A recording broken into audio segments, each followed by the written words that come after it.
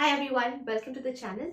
Today we are going to look at the three major theories which are associated with the acid-base concept. So let us start.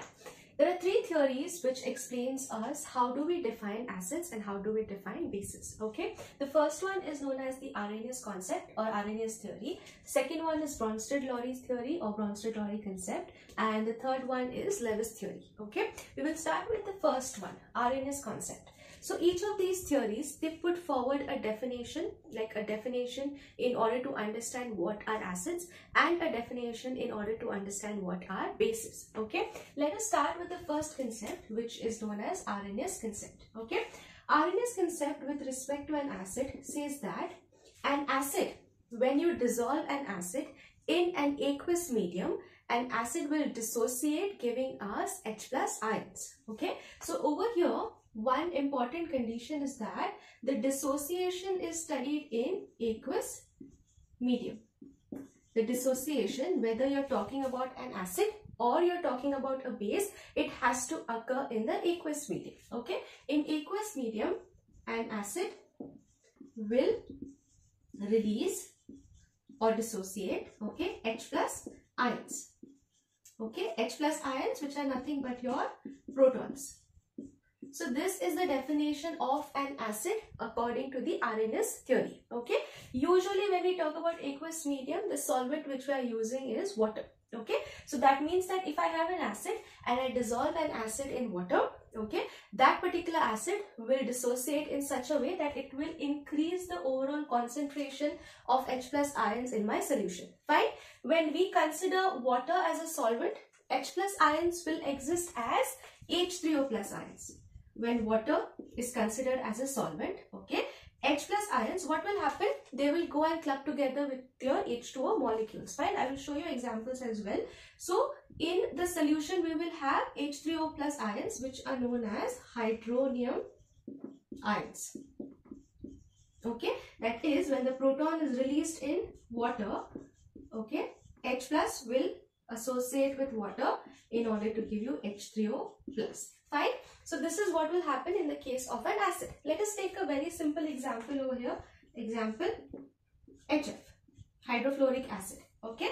HF, when it dissociates, okay, when HF dissociates in water, it will split into H plus plus F minus right so it is releasing a proton over here okay i can show the same reaction in presence of water so hf plus H2, right? This is how the dissociation will take place. What will I get? HF is going to split into F minus and H plus. That H plus as I have shown you over here will go and associate with water. So I will get H3O plus plus F minus. Okay. So this is my hydronium ion in the case of uh, your aqueous medium. Okay.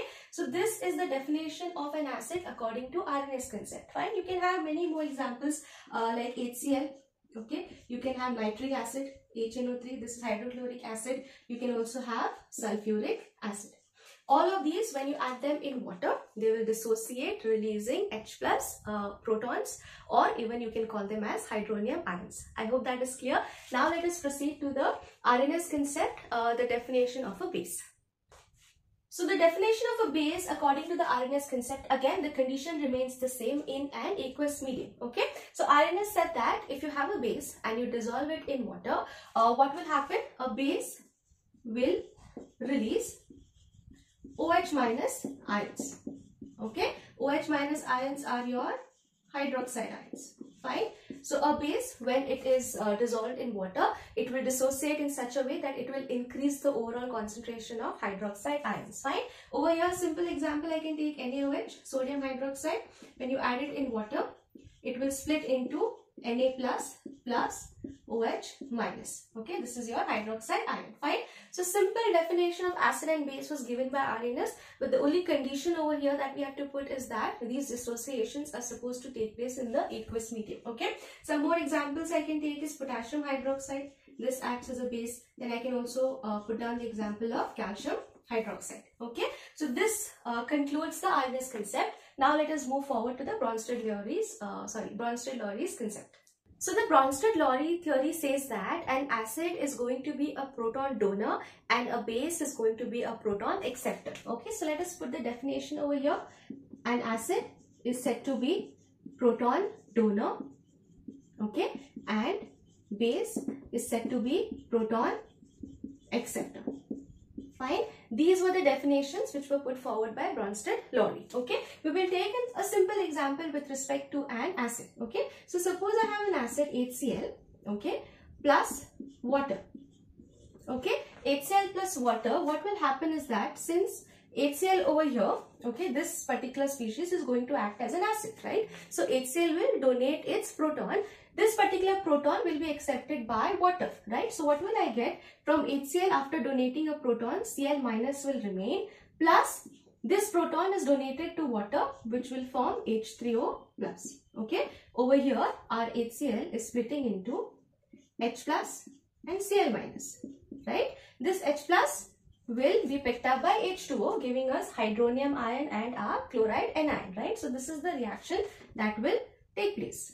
Okay, so over here there is an important concept of identifying something which is known as conjugate acid and conjugate base okay? And many times students are confused uh, in order to identify which is a conjugate acid which is a conjugate base. I will show you a very easy and simple method to apply okay? First of all when you have such reactions assign your acid and base okay? Check who has donated proton and check who has accepted that proton okay? So over here hcl has donated. So this is going to act so this is acting as the acid right? And water has accepted. You can see over here. So this is acting as the base right now you have to look for the same formula species okay look for the same formula species meaning HCl is getting converted into what? Is HCl getting converted into Cl minus or is HCl getting converted into H3O plus? Hmm? This is what you have to identify. So over here, HCl is getting converted into Cl minus, correct? From HCl you are getting Cl minus and from H2O you are getting H3O plus. Check for the formula, right? Check for the formula, okay? So basically what is happening over here, HCl is getting converted into Cl minus. So it is losing H plus, right? If it is losing H plus, that means this particular form, that is Cl minus becomes your conjugate base. Okay, fine. This particular form becomes your conjugate base. You can also represent it as Cb. So over here, if you have an acid, okay, whatever remains from that formula or whatever changes are taking place on that formula, that will become opposite. Okay. So if this is an acid, this will become a conjugate base. Okay. Come to water. Water is acting as a base. From H2O, you are getting H3O plus, right? If this is a base, what will this become? This will become your conjugate acid. As simple as that. Okay.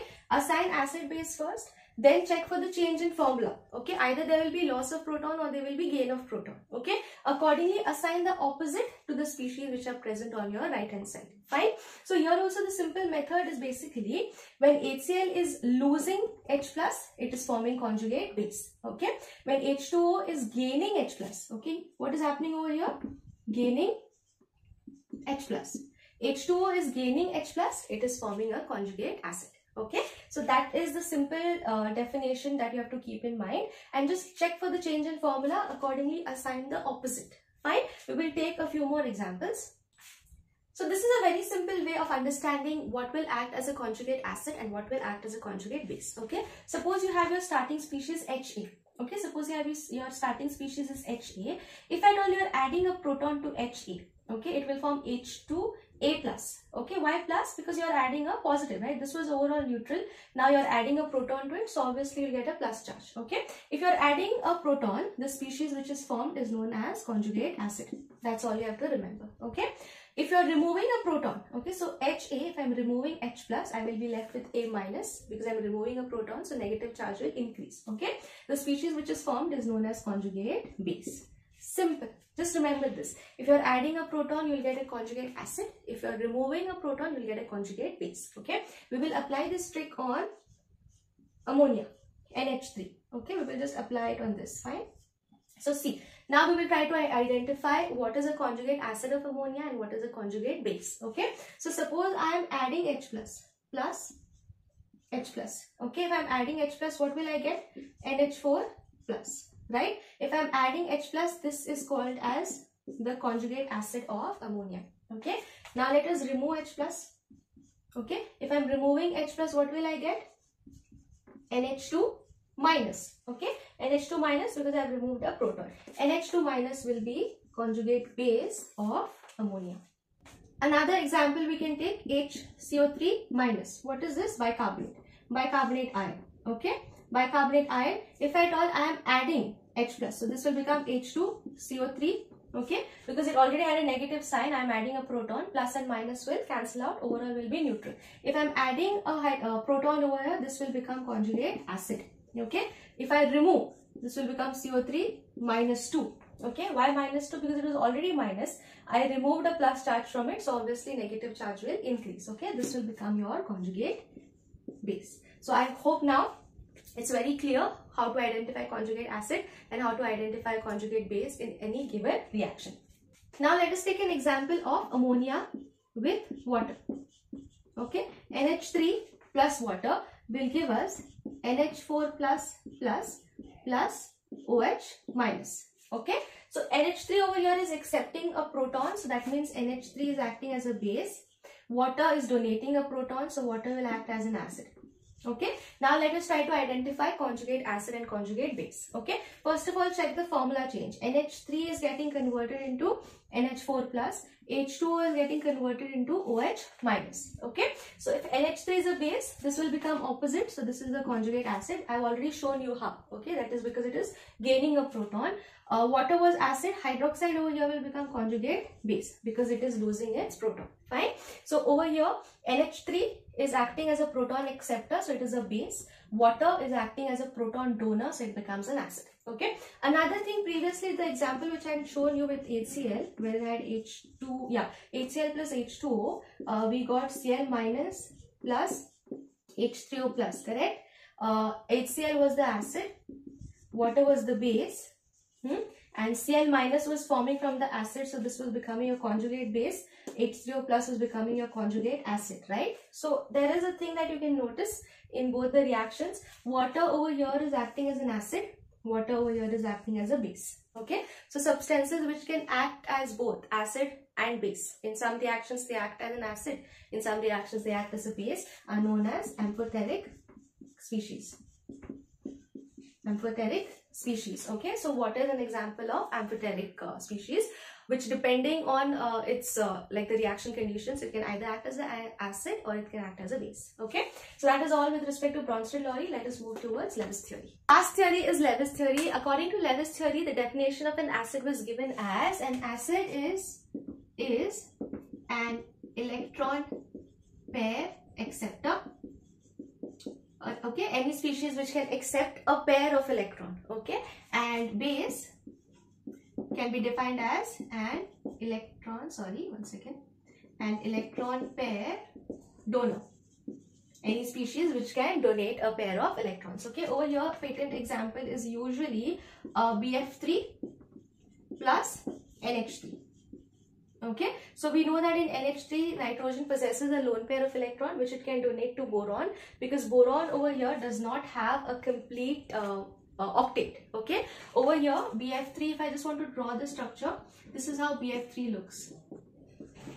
Okay? So there are only six electrons in its outermost shell uh, in order to be stable or in order to have a complete octet you require eight okay? So it can easily take two electrons from nitrogen. Fine. The product that we get over here is somewhat represented this way okay? Wherein we show we show the transfer of electrons from nitrogen to boron okay? So actually boron over here develops like a negative charge and nitrogen develops a positive charge.